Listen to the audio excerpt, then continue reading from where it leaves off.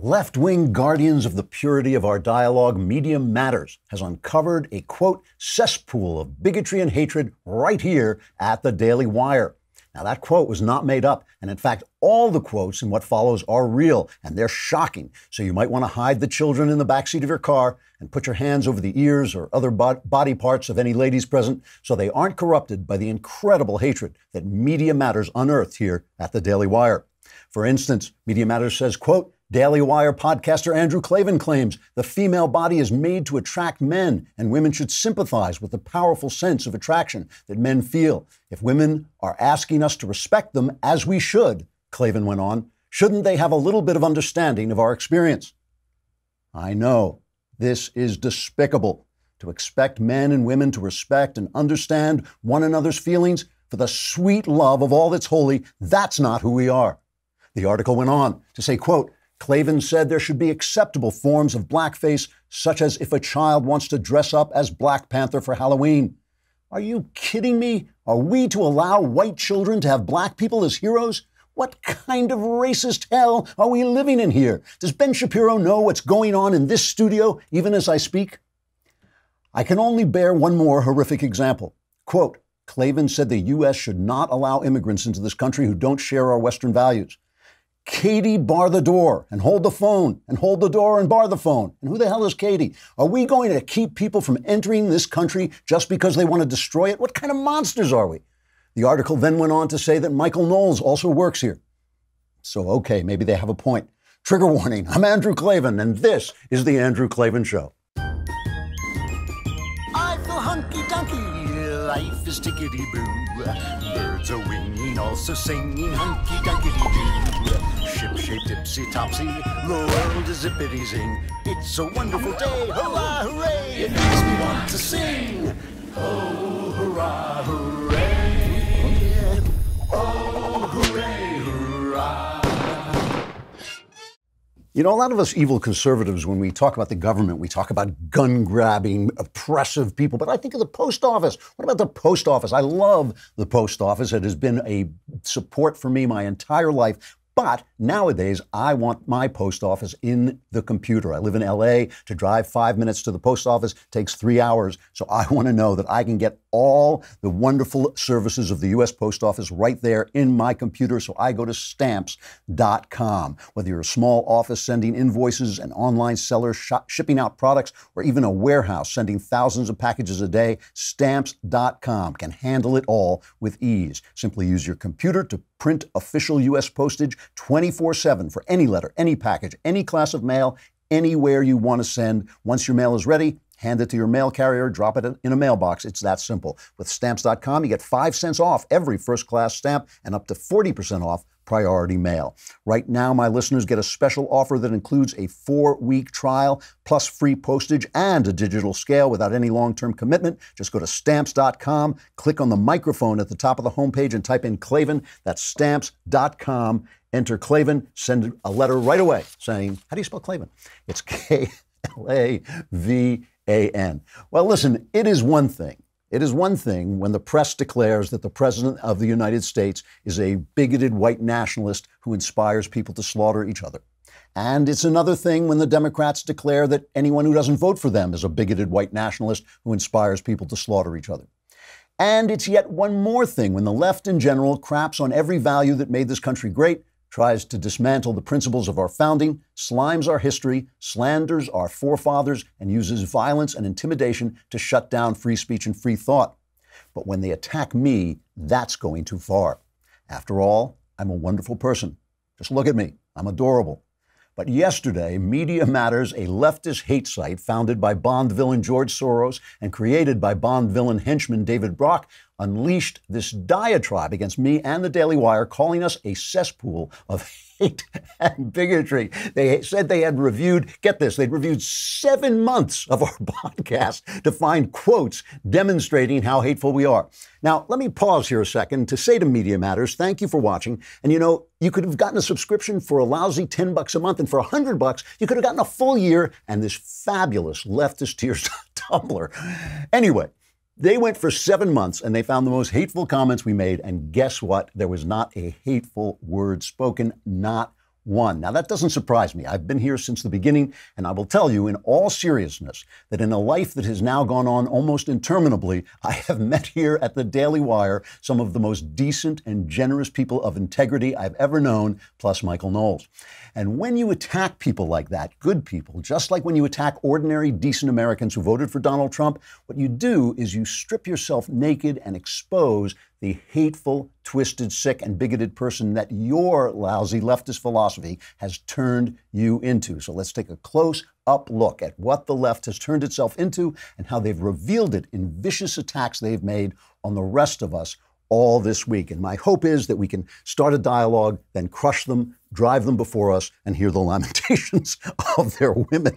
So I, you know, I, the reason I'm talking about this is because Media Matters has a big profile. You know, they are a, a hate site funded by George Soros. So you've got, the, you've got endless money and David Brock is a smear merchant of the first water. He knows exactly what he's doing. And they use this power to go to people's sponsors and intimidate the sponsors. The sponsors thinks, oh no, now my beautiful product is going to be promoted by some hateful guy. But the thing is, just because they're attacking, it don't mean they're right. It doesn't mean that we are hateful. It may mean, in fact, that they are hateful. That is the whole thing that's been going on all this week. Is the left has been screaming Donald Trump is hateful, Donald Trump is hateful, and the words coming out of their mouth and the things they're doing and the implications they're making about decent people all throughout this country show that they are, in fact, the hateful ones. Donald Trump is rude. You've heard me say it a million times, but the true hate in this country is coming from the left, and Media Matters proved it. So, first of all, they put out a video, what I thought was a supercut of some of our best moments. I'm not going to play the whole thing, but let's play a minute of Media Matters hate filled jubilee, a jubilee of just the pure hate that's being spewed here at the Daily Wire. How is it that drag queens have escaped the blackface backlash. The very fact that women wear leggings tells you something the female body is made to attract. Planned Parenthood is the is is, is a rapist's best friend. Now, isn't there a difference between standing up for integration, standing up for the right of black people to move into a community once they can afford it? Jew-hating Congresswoman Ilhan Omar. Transgender women aren't women. Love is love, or if it feels good, do it. As a result of this, the logical conclusion is we're going to normalize pedophilia. Obviously, they won the same-sex marriage battle. Do you think that they're going to win the redefinition of sex battle as well? If they win that battle, then it really is over. Western civilization is over at that point. The West broadly invented every single thing that's ever been invented, but and made virtually every discovery that has ever been discovered. Personally, I agree with Tucker Carlson and Donald Trump that you should not be allowed in the country if you think it stinks. Feminism has created this generation of women who think they matter because they're women, who think their ideas matter because they're women, who think their ideas are protected because they're women. They're not. I love that guy. He's great. Uh, you know, I'm, I'm only going to defend myself because the other guys are big boys. They can defend themselves. But I, I, really have to talk about some of this because of what it reveals about them. I mean, let's go through some of this. I can't go through all the hateful, terrible things I said, but but every single one of them I ascribe to, except for one that they misquoted to make it sound like I said the opposite of what I said. And I'll get to that in a minute. But I made the point that the female body is uh, is made to attract men. Uh, that um, that that women, you know, that modesty in women is respectful of men's feelings, just like courtliness in men is respectful of women's feelings. I mean, these are the ways we show respect for one another because men and women are different, and so we show respect for each other by acting in certain ways that show that we share the world together. That is something that we do. Uh, and and the other, what was the other one that the um, that I, oh, I thought people should just in Gamergate that I thought people should be able to play any video games they wanted, and if they got a little thrill out of big-breasted heroines running around who bounce around. I, when when Lara Croft came out, I pressed the jump button about 15 times just to see. So this technology is amazing, and and my idea that feminism has created a generation has told women that they are interesting or what they think is important just because they're women, which of course is not true. So when I say we should respect one another and we should have a society in which we behave in ways that respect one another, because the truth is, I mean, how, how on earth, how on earth can you say that women are not created physically by evolution. All evolution cares about is that we reproduce. That's it. They don't care whether we write Shakespeare. They don't care if we build the Empire State Building. All evolution cares about is that we reproduce. They have made it so that we're attracted to one another. So women draw men with their beauty. That is a wonderful thing. It's part of the joy of life. What is the problem with saying that? The problem is reality is not to their liking. Reality is to, not to their liking, so they have to shut it down. They want a world in which no, we don't respect one another because then you're ceding power. If you respect other people's feelings and you back off a little bit and let them have their lives and let their work, then you're ceding power and power is what the left is all about. This is the uh, the big one and the idea that uh, this identity politics idea that your that your ideas, your thoughts, your life matters because of some identity the left chooses to put you in, and that identity, by the way, is a prison because you're only allowed to have their opinion. As they've said, we don't want black fo- uh, voices unless they're going to be black voices. We don't want brown people or women to speak unless they're going to be brown voices and women voices. They say this. So they are basically putting you in a prison of identity. And what they are doing is they are co-opting the bigotry of the people they think they think we are. They're taking that bigotry, they're using it for themselves, and they have become the bigoted one. It's essentially really what they've done. So in attacking what I say, that we should respect one another, that men and women should respect one another as different kinds of people, that we were made by evolution, shaped physically by evolution to be certain things. All they're doing is showing that they can't stand reality and they're not willing to uh, compromise with reality in order to show respect and basically treat people the way people should be treated. It really is a hateful philosophy. And because of this, you know, one of the things is I freely admit, I freely admit that I have opinions about the sexes that are now unfashionable. I freely admit it. I think most women, you know, maybe at a guess, 90% of women would be far happier if they had children young, dedicated their early lives to homemaking uh, and child rearing, and then went on to uh, to build a career a- after that. That that's my opinion. Okay, that's my opinion. But here's the thing because the left only believes that things should be forbidden or enforced. They all believe that everything should be either enforced or forbidden. They don't believe in individuals. They don't believe in people who say, well, I'm going to go my way, you go yours. They think that each opinion is somehow oppressive. I have an opinion. I don't care if you don't like my opinion. Do live your life. I have no control over your life. I don't want any control over your life. So if a woman says to me, you know, I don't think I'm going to live that way, I think I'll be happy living another way, that's great. That's fine with me. That's fine. So I have an opinion about what, what most people would be happy about. Maybe it's wrong. Maybe it's wrong for some people. Maybe it's right for some people. Who cares? Who cares? I'm not, because they think the government should control every aspect of your life, they do not understand the idea that we can live and let live, that we can have our opinions and let other people have their opinions and let other people live their lives the way they want to live their lives. You don't like my opinion? Either don't listen to me or just go and live another way. But they don't have that room because they envision a world in which everything is either enforced or it is forbidden. That's the only place they have. You either enforce uh, things because they're good, the government forces you to do them because they're good, or it forbids them because they're bad. There's no room to say, live and let live, you go your way, uh, I'll go mine. That's why I'm, I feel free to express any opinion, even sometimes when my opinions, you know, disgruntle someone else. So what? I'm not coming to their home. I'm not trying to pass a law. I'm just telling them what I have observed in a long and uh, interesting life, all right? So those are just things that, and then there's a lot of stuff here that they just took out of uh, context. But here's another one that I really loved where this is they're quoting this as hatefulness as part of our cesspool here of hatred and bigotry. They said Klavan said we should thank Christian white men for creating our civilization. Now they are absolutely right. They are absolutely right that my attitude toward this and the left's attitude are absolutely different, right? They obviously hate Christian white men. They think they've been oppressive and terrible, and they and somehow owe everybody else reparations for the way they treated them. Now, that's just an attitude. I have an attitude of gratitude. They have an attitude of hatred and, and vengeance. Okay, that, that's a difference in attitude. My attitude comes from this, right? Racially, I'm a Jew. I grew up in Western civilization, recognizing what a brilliant, beautiful civilization it is, but also recognizing that the Jew, more than any other person, was the other in Western civilization. For most of Western history, for most of Western history, certainly even today, the Jew was the person that uh, was opposed to Western civilization. There was Christendom, and there was the Jew who had rejected Christ. That was the idea, came out of the Catholic Church, but permeated society and obviously found its worst expression in the Holocaust. I understood that many of my heroes, many of the people I admired, Charles Dickens, William Shakespeare, had expressed things that were offensive to me, that were hateful toward me. And what I said to myself is, hey, you know, they were in their time, just like I'm in my time. They partook of the prejudices of their civilization, just like I, all of us, partake of the prejudices of their civilization. And somehow out of that, they built something beautiful that is now inherited by me because the ideas in that civilization ultimately forced them to confront the fact that, they, that anti Semitism was not acceptable under the rules that they had written.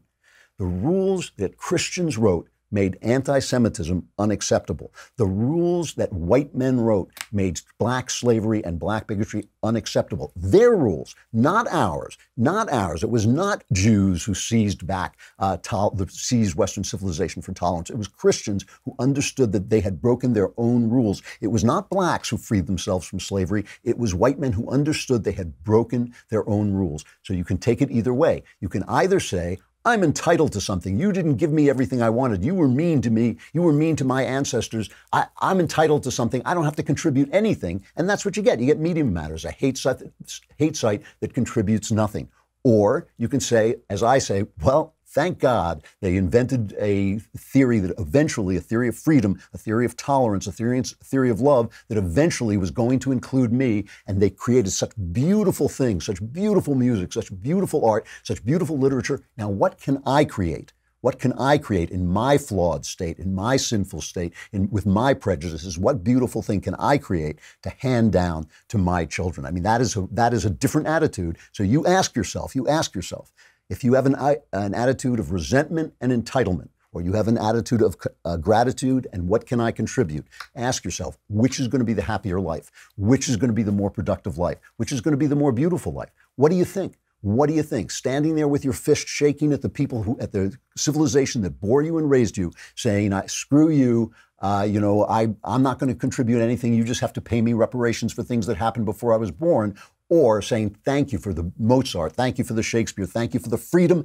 thank you for the Constitution. Now, what can I contribute to that civilization? You choose. Take, take your pick. Media Matters or Daily Wire. You figure out which is the cesspool of hatred and bigotry. Now, here was the one that, that really did bu- bug me. Um, this because this was taken totally out of context to make it sound um, like the opposite of what I said. It says Klavan warned that gay activists are out there prowling like lions. For those of you who don't know, it's a reference to the devil. The devil is out there prowling like a lion, waiting for us. Klavan warned that gay activists are out there prowling like lions to corrupt Christian children with their terrible, terrible culture. That is not what I said. That's the opposite of what I said. I was uh, arguing for tolerance for gays, even in Christian cultures that feel that homosexuality is a sin, and saying that if you cast your gay parishioners out into the world, there are these terrible gay activists with their crappy atheist culture, their anti family culture, their promiscuous culture, who are waiting to take these gay kids who've been rejected by uh, their churches and their families and willing, ready to take them and corrupt them. So that even if you feel philosophically, theologically, as I don't feel, even if you feel uh, that that this is something that God is displeased with. You should not reject them. You should not cast them out, but you should keep them close because you want them to get you want them to get the goodness of God and the love of family. Those are very, very important things. So that's they just misquoted me there. So I was talking about this and I went on Twitter yesterday and I said, look, you know, this is true. I've always felt like this about gay people. I remember as a kid when my father explained to me what gay people are. And in those days, people thought it was a, a, mental illness. My father was a liberal guy. He wasn't being hateful. He was giving me the most liberal interpretation of the time. And he a mental illness. And I remember I shrugged and I said, hey, they aren't hurting anybody. And that's the way I've felt my whole life. And uh, uh in the arts, you know, gay people have been some of my closest friends uh, and, and people I've worked with and people I respect. It's just impossible for me to hate the people that I know and, and, and, and also impossible for me to feel that God is somehow against them. So I started to say this and I said I've been a arguer for gay tolerance uh, since before you guys were born at Media Matters. And of course, tolerance, that's not what they said. We want celebration. We want acceptance. You know, I don't celebrate anything. I don't celebrate heterosexuality either. I just tolerate everybody. That's, that's tolerate toleration for, for all you people is as far as I'm willing to go. So now my son, my beautiful son, who is uh, one of my pride and joy, my son and my daughter are no question about it. They are my pride and joy. He comes on Twitter and he's had it. You know, he's tired of listening to people beat up his old man. And he comes on and he says, Hey, here I am, Andrew Klavan's gay son, and he, I've got nothing but love and acceptance from this guy. And screw you guys. He had some wonderful phrase. I can't remember what it was. He called them clowns. It was really terrific. So, so anyway, now suddenly people go like, oh, you know, well, why, why didn't, if, if you're his gay son, why didn't, uh, doesn't Klavan talk about this? Well, let me explain why I don't talk about it. I don't talk about it for two reasons. One, Three reasons. One, I don't want anyone to think that that's why I developed my principles. My principles are developed out of what I see in life. They I did not change when my son came out as gay, that none of that happened. Two, I don't want people ever to feel that they can't say anything to me. You know, the people who I know who feel that homosexuality is a sin, but who are loving people, who so many of them who have been so kind to my boy, you know, that they, they've accepted him as a friend, even with their theology. I don't want any of them to feel that they have to hold back. I don't. I hate that. I hate when people don't say things to me uh, that are philosophical but not hateful um, because of some personal thing. And most importantly, I just don't want to use my family as a prop. I don't need my, fa- I'm not a politician. I don't bring up my smiling wife to look, gaze at me admiringly. I just force her to do that at home, but I don't bring her in to gaze at me admiringly to make you think that I'm a good person. So I don't do that. And I will be honest about this. I'll be perfectly honest about this. If, if I thought that God condemned my son, there is enough of Abraham left in me that I would stand before the throne of God and risk my salvation to talk him out of it.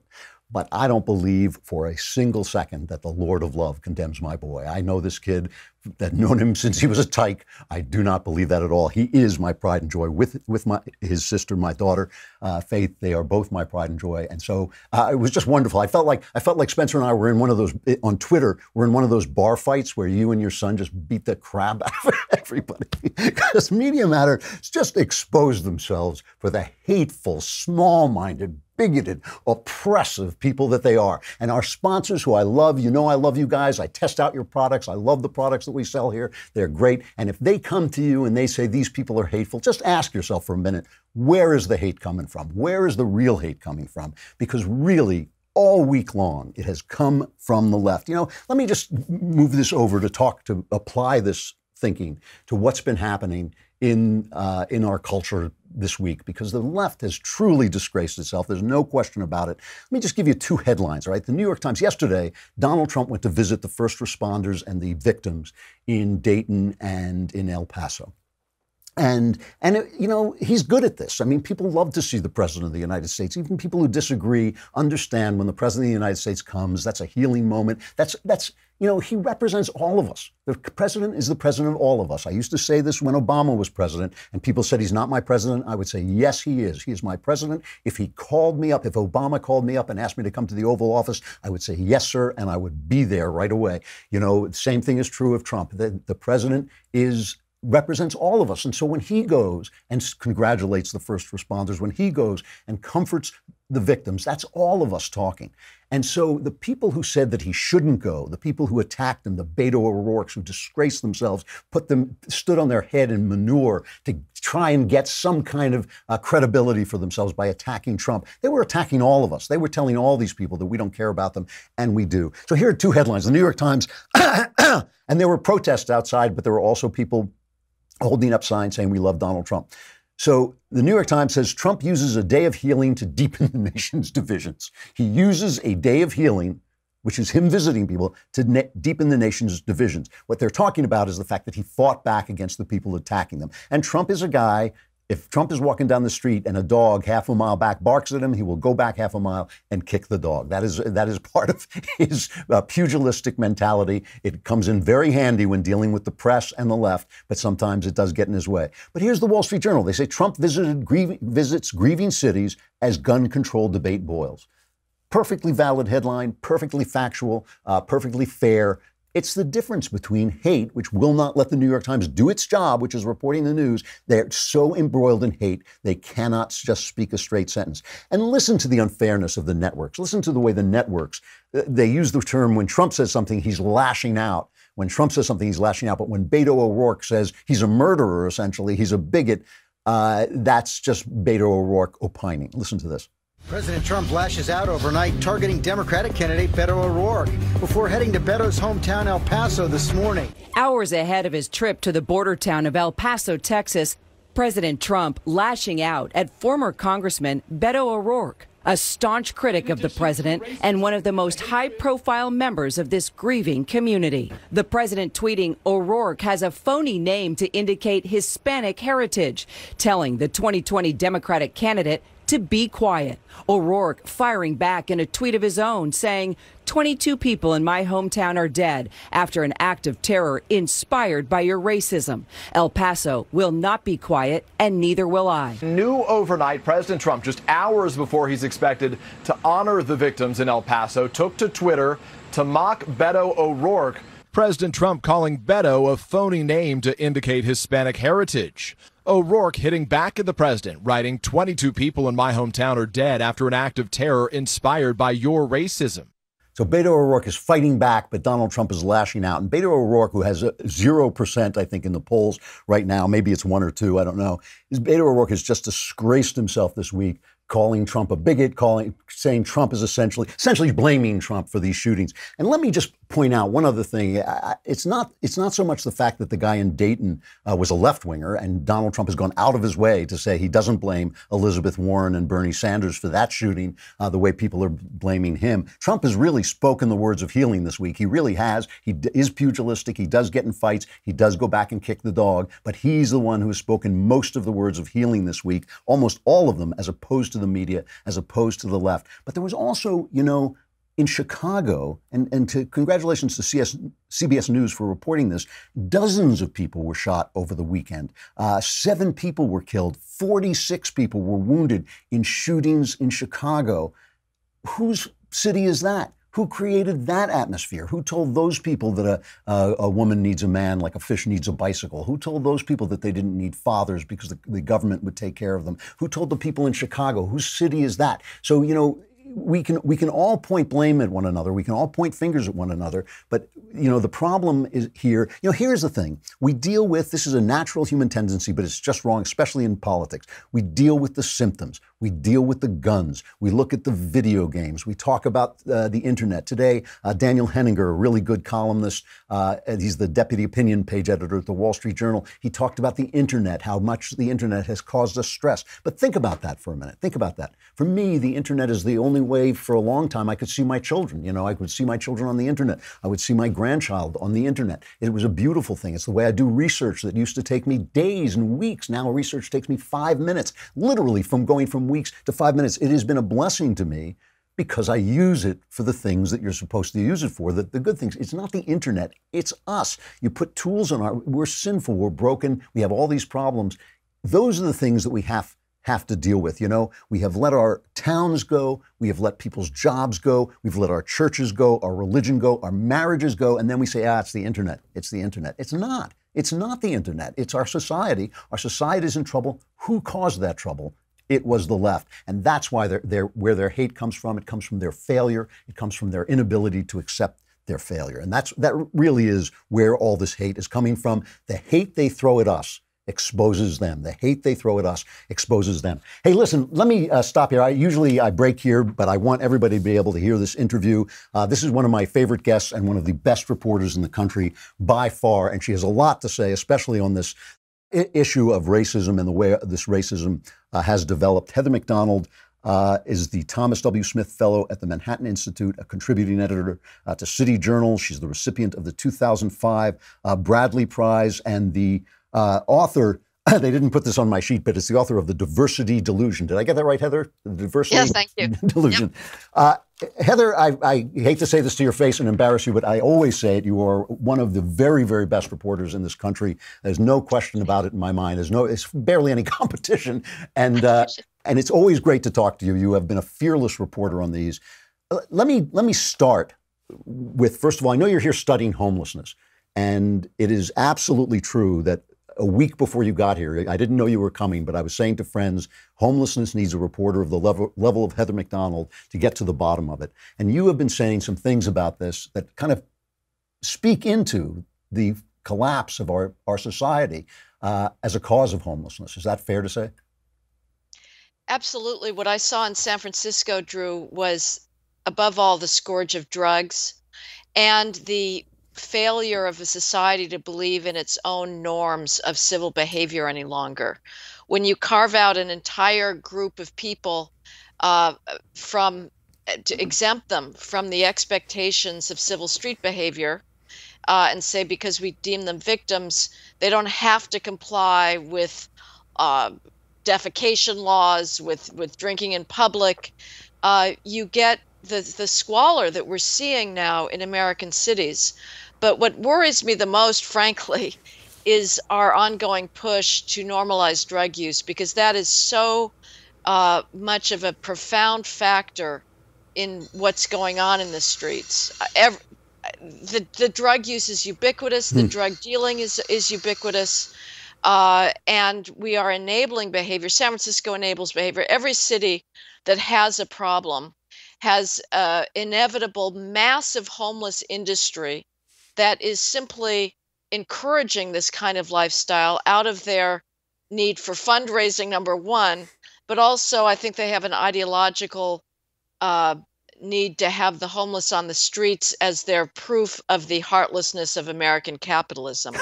so, in other words, they have they have uh, systems that put the homelessness on the street and then point at them as as proof of the heartlessness of our systems, essentially.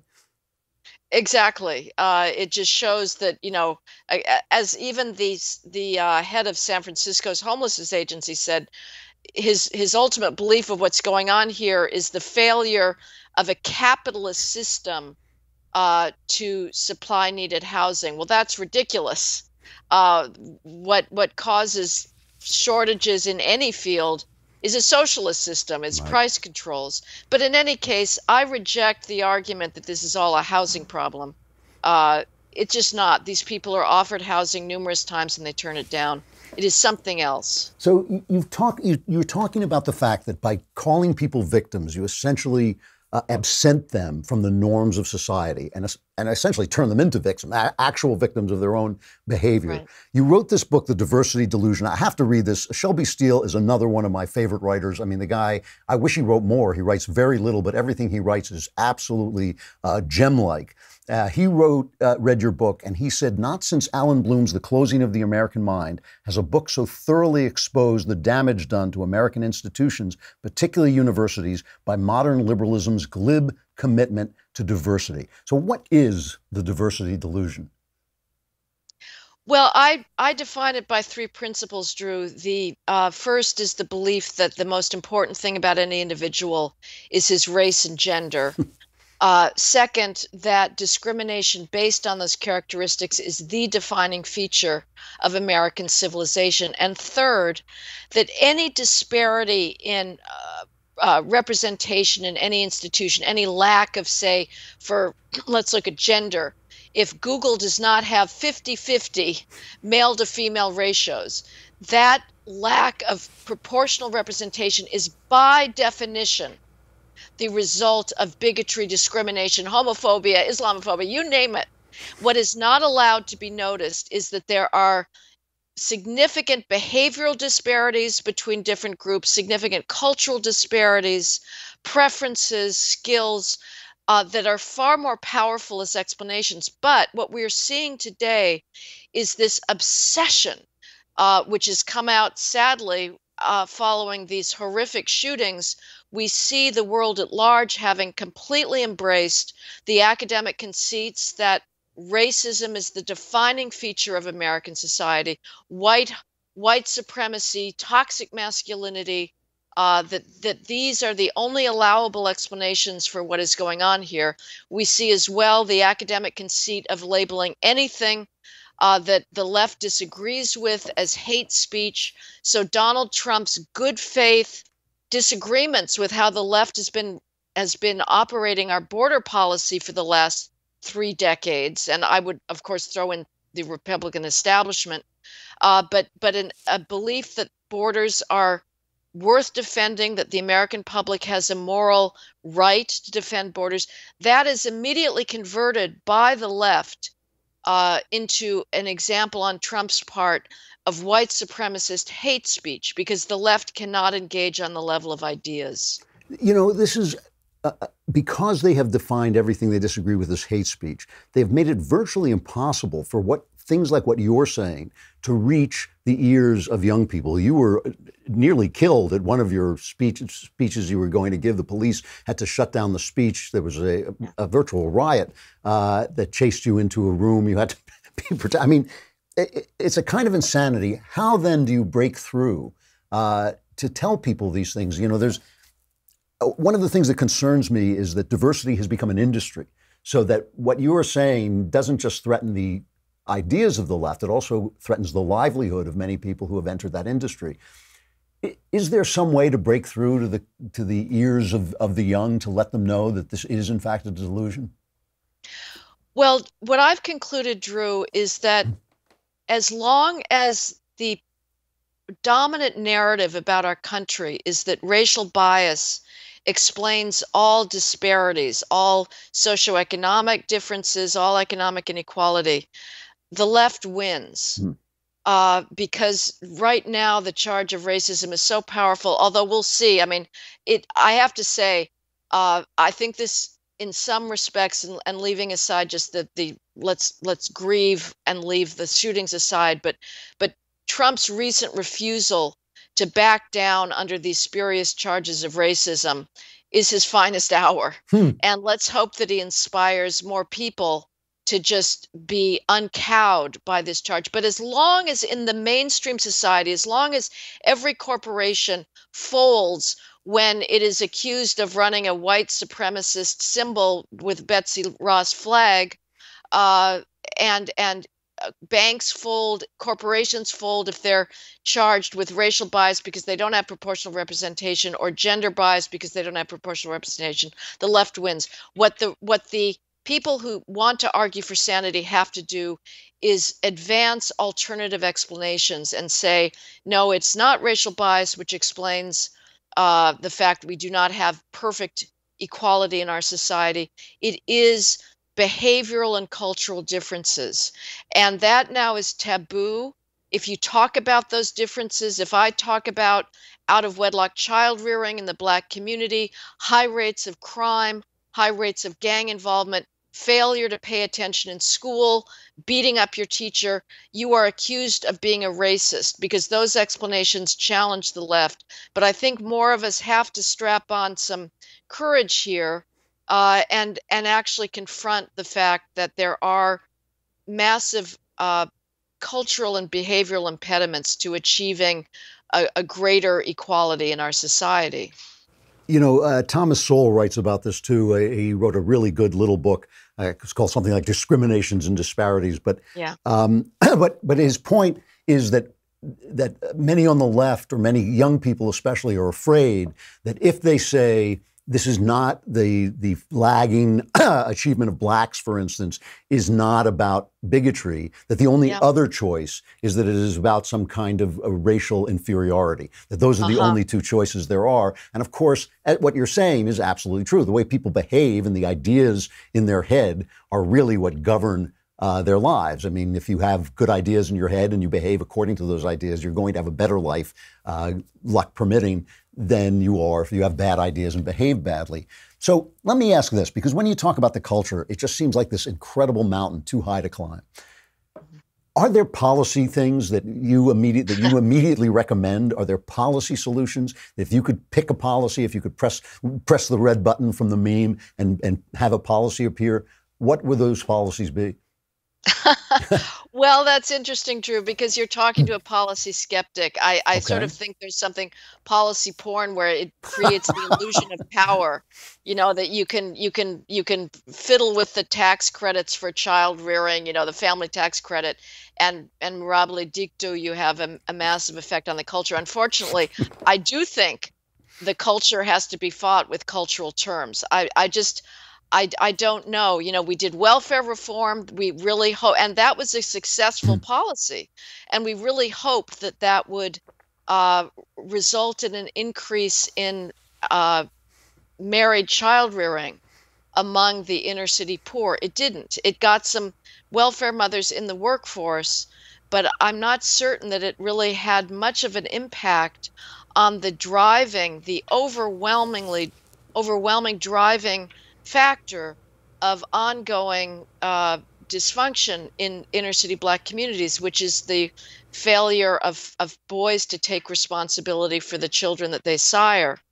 And I think what needs to be done there is a massive revalorization of fathers, of males, and and that's fighting hard because what's coming out of the universities is an incessant drumbeat about tax, toxic masculinity. All of us are in the dark here about what's driving these shootings, but I, for me, my instinctive uh, explanation is that you've got white males now that are being the the, the target of so much anti-male propaganda the it, it cannot be overstated how thoroughly universities are committed to rubbing students' nose in this toxic victimhood where the only allowable source of of problems complaints is white males heterosexual white males. And if if you've got a white male son who's neither neither gay nor trans woe unto him. Uh, because he's going to have to f- be twice as good as anybody else in our culture today to get hired or promoted. And identity politics dominates the left. And so there are some lost alienated white males out there living in a culture that is somehow not providing meaning that are taking the logical next step and saying well we have we deserve our own identity politics. Now i am by no means the problem with expl- explanations is you end up risking the charge of justifying Mm. i am not justifying in any mean by any uh, possible way violence homicidal violence that strikes to our basis of civilization nevertheless if the mainstream culture continues to tell these young white males that they are worthless. The only positive messages coming out are to females today, to young girls, all the damn you go girls, the women in tech, you know, Latinas in tech. Nobody is encouraging boys to succeed. It's a it's a miracle that anybody does, and it's a testament to the male drive to accomplish and succeed and overcome and and and yes conquer uh, uh, Uh, more and more white males are going to are withdraw and to develop their own alternative universes. And and that's a very scary thing Heather, from beginning to end, from the time I asked that question to right now, that was one of the smartest things anybody's ever said on this show. I hope the people at Media Matters are watching. I hope their heads explode uh, it destroys them. Heather Mac Donald, it's always great to see you and to listen to you and to read you. The Diversity Delusion, a terrific book like all your writing, uh, and also can find you at City Journal. It's great to see you. wonderful to be with you andrew thank you so much Thanks a lot. All right, let me end with a final reflection. I have not had a time, uh, had a chance to uh, talk about uh, Hal Prince, the death of Hal Prince, who died uh, at 91. Um, he is he was a giant, uh, giant of Broadway, uh, a producer. Just nobody nobody like him. And the reason I want to talk about him, Harold Prince. Um, the reason I want to talk about him is that this is kind of what we need on the right. When we talk about the arts, obviously the arts are a big subject. There- There's so much to say about them. But the thing about Harold Prince is he is a uh, an absolute model of capitalism and the limits of capitalism. Okay, of capitalism with values. Uh, and I, I don't know anything about his politics. He was in the theater. I assume he's a liberal. I don't know. But the thing is, he wanted to make money. He wanted to be a success. He wanted to put out things that the people liked so that he could um, he could make money and continue doing what he was doing. Uh, he did Cabaret. That was his first big success. Cabaret, one of the great shows of Broadway. Uh, his probably his biggest hit uh, is Phantom of the Opera. Uh, he also did Evita. I mean, Phantom of the Opera is something that has been running for a gazillion years. But he also collaborated with Stephen Sondheim, who is probably one of the, he's not probably, he's one of the great artists of the American 20th century, one of the true originals, somebody who really uh, carried the great American songbook into a new era in a new way. A lot of people don't like him because of his experimentation, but he was incredibly creative, incredibly brilliant. And some of his stuff didn't make money, right? It didn't make money until later. So, for instance, Sweeney Todd, I've only given two standing ovations in my life in a, in a theater. I love the theater. I go to the theater all the time. I've only gotten to my feet to applaud twice. One was Sweeney Todd, uh, and the other was uh, Arcadia uh, by Tom Stoppard. And Sweeney Todd was an act of genius, but it didn't make money the first time it opened. He did it because it was an act of genius. And then, of course, over time, it became a staple in opera companies. It became a staple in, in, in all around the country. There are all kinds of, there's a movie of it, there's all kinds of uh, reproducing, reproductions of it. In the arts, in the arts, you have to take the risks to do the great stuff. You have to use the stuff that succeeds, the crowd pleasing stuff like Phantom of the Opera. Nothing wrong with Phantom of the Opera, but it's, it is just a, cl- a crowd pleaser. And nothing wrong with that, but you got to use that money and pour it into things that might not make it. Take those risks. We have to do that. And we have to remember also the larger point, which is that capitalism doesn't solve all our problems if it's empty of values. Capitalism does not solve all our problems. Free markets, I should call it, do not solve all, all our problems if they are empty of, value, of values. If we don't reach out to people, if we don't spend our money in charity, if we don't make a little less uh, money to do a little more quality work, a little less money to spend a little more time with our families, then free markets are worth nothing. They are worth nothing. All that wealth, all that success, all that progress, worth nothing if we don't have the values to go with it. Harold Prince, one of the giants of the American arts, if only, if only we had someone like that who was dedicated to the uh, concepts of our founding, uh, who was willing to go in and take the risks uh, on artists that need to be taken, but also willing to have the savvy uh, to put together the capitalist successes uh, that are needed to fund the arts as, as they go forward. Uh, we would be in great shape. He was he was a giant. He will be missed. I will be missed because now the Klavan Klavanless weekend is upon us, and boy, oh boy, Media Matters. If you thought it was bad while I was here, Wait till you see the chaos and darkness that ensues when I'm gone. Survivors gather here Monday. I'm Andrew Klavan. This is The Andrew Klavan Show.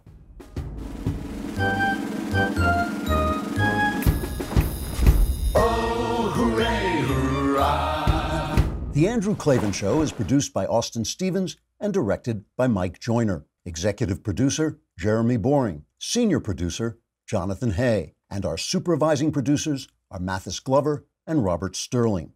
Edited by Adam Sayevitz. Audio is mixed by Mike Coromina. Hair and makeup is by Jesua Alvera. Animations are by Cynthia Angulo. And our production assistant is Nick Sheehan. The Andrew Klavan Show is a Daily Wire production. Copyright Daily Wire 2019. Hey, uh, over on the Matt Walsh Show today, we're going to talk about the the another mass killing that happened last night. But the media, though, curiously, is less interested in covering this one. Why is that? We will discuss. Also, Media Matters compiled a video um, highlighting all of the supposed bigotry at the Daily Wire. It's really more like a greatest hits compilation. So I'll play some of that video for you today on the show, and we'll talk about it. And uh, I'll answer your emails as well on the Matt Walsh Show.